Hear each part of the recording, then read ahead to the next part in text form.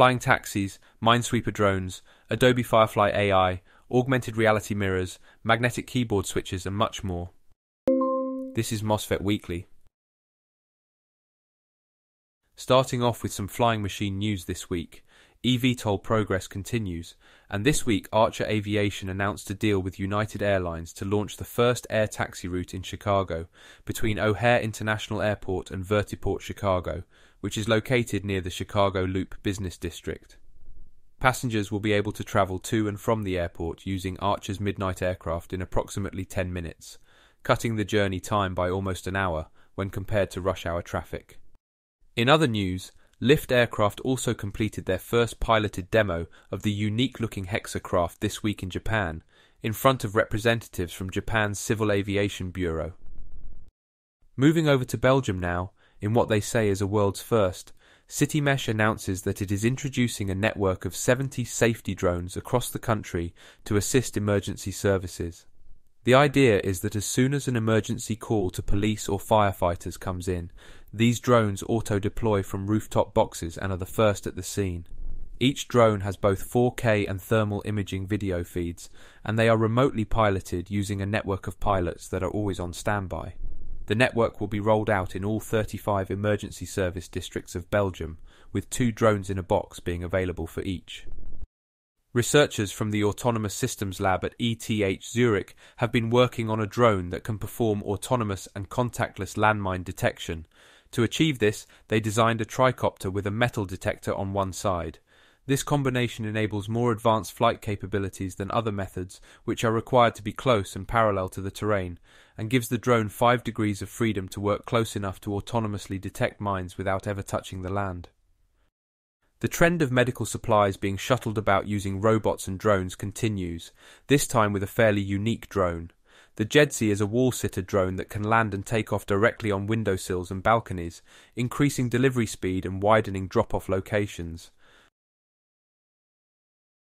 More delivery news this week. KiwiBot are another food delivery service which has been carrying out autonomous deliveries across college campuses in the US. Similar to Starship's offering, these bots are distinguished by their emotive eyes on the front. The company recently announced $10 million in funding to expand their service. KiwiBot, a robotic last mile delivery service that has completed over 250,000 food deliveries with high driving robots, today announces a tailor made $10 million financing partnership with asset financing group Kineo Finance. The agreement will help KiwiBot with its manufacturing and scaling needs, growing its robotic fleet, and disrupting the delivery as a service industry. Seemingly all stages of logistics are going through transformation from automation at the moment. This time around, we have Slip Robotics, which has come up with a different way to load and unload trucks. Unlike autonomous loading arms like the one from Boston Dynamics, which requires the truck to be parked in a bay during the process, Slip system basically uses giant self-driving pallets which can move the entire truck contents in and out quickly for processing elsewhere, freeing up the truck to be used again almost instantly. In other industrial robotics news, Built Robotics unveiled a massive autonomous pile driving machine primarily aimed at installing huge solar farms. The RPD 35 from Built Robotics is the world's first autonomous piling system. It combines four steps layout, pile distribution, pile driving, and as built into one package. With the RPD 35, a two person crew can install piles for more productivity than traditional methods. In their demonstration video, they say the RPD 35 can carry 200 piles at a time and in a day can install three times more into the ground than a fully manned crew.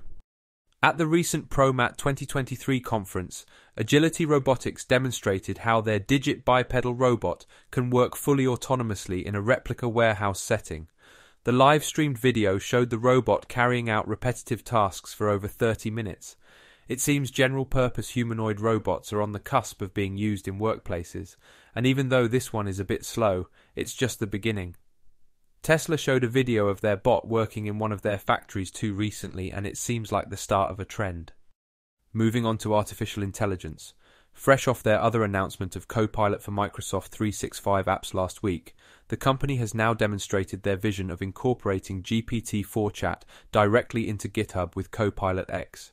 The vision shows users having context aware conversations with the AI model, giving them the ability to ask it for help with tasks like explaining sections of code or finding bugs. GitHub states that the promo video doesn't necessarily show what the final product will end up being like, and it is not available to the public yet. Users can sign up for a waiting list to be notified of updates. Software giant Adobe unveiled Firefly this week. This new family of creative generative AI models allows users of all skill levels to both generate images and text effects very easily, but also to alter existing creative work. This is very impressive, and if the actual product lives up to the hype of the demonstrations, I believe this will be game changing. It's not currently available to the public, but users can request access to the Firefly beta. In a similar vein, the team behind Stable Diffusion have also introduced the Reimagine tool. This new free web based AI model takes input images and creates variations of them. Users simply upload an image, and the algorithm creates as many new images based off of it that they want. Again, I could see this being a pretty useful creative aid for concept generation, though I do wonder where things will go once the majority of creative generation is based upon other AI generations in some sort of infinite loop. One electronic story this week. Flux has launched a new keyboard on Kickstarter. It uses transparent keycaps and has a screen underneath, so users can dynamically change layouts and add shortcuts to specific apps and games. Outside of having an interesting gimmick, the reason why I included this is its magnetic key switch design. Each key has mini magnets either side, which gives mechanical haptic feedback and makes the keys snap into position. Hall effect sensors underneath measure the magnetic field to know when there's a key press. This novel approach is particularly interesting from an open hardware point of view, because traditionally high quality custom keyboards have been out of reach to most DIY designers and engineers, but now it is possible to use the same technique as the Flux to design high quality keyboards in any size, using 3D printing or laser cutting. Very cool. Sticking with 3D printing, I saw this curious multi nozzle FDM 3D printing process recently and thought I'd share. German company Lictra have developed the FX7, which is a multi-nozzle FDM print head, which can dynamically print multiple strands of melted filament next to each other to drastically increase both speed and strength of prints. And in other news, here is another great application for 3D printing.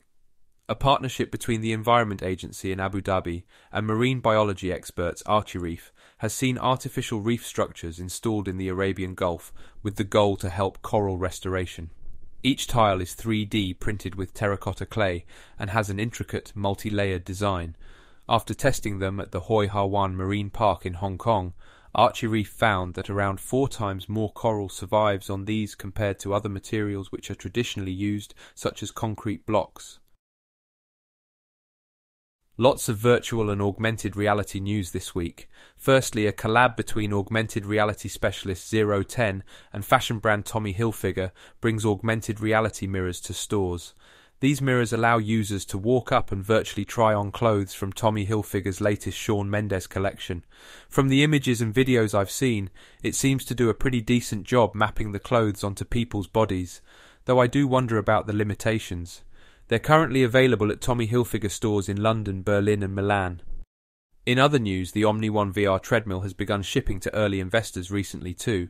The treadmill has a diameter of 4 feet and allows users to walk, run, jump, and crouch in VR, when combined with a Pico Neo 3 Pro headset which comes with it.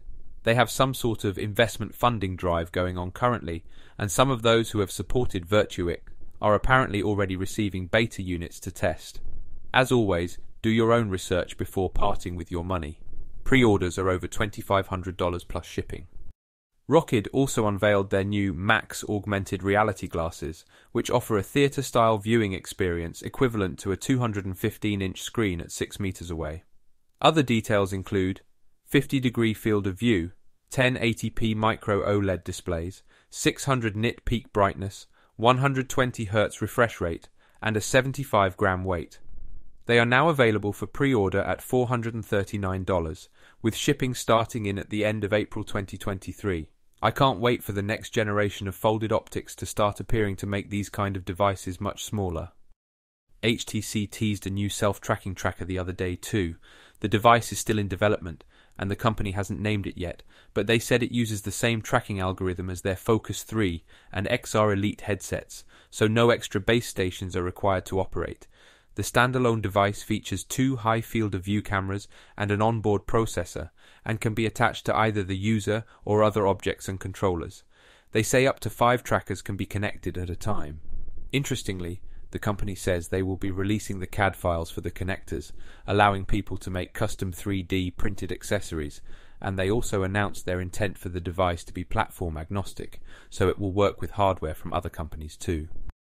And wrapping this week's news, a team of researchers from Rice University have been working on a system that increases virtual reality immersion and tries to take on the challenge of simulating hand feedback, so when users poke, push, and squeeze virtual objects, it feels real. They designed a bracelet which not only has multiple vibration motors all the way around, but also squeezes the wrist to imitate various actions. While it's obviously not the ultimate solution to the problem yet, they say it does add more believability to virtual scenarios, and since it doesn't cover the hands like haptic gloves, they say it feels more natural to use. Alright, that's it for this week. Thanks for watching, and if you'd like to see more, subscribe to this channel or check out MOSFET.net.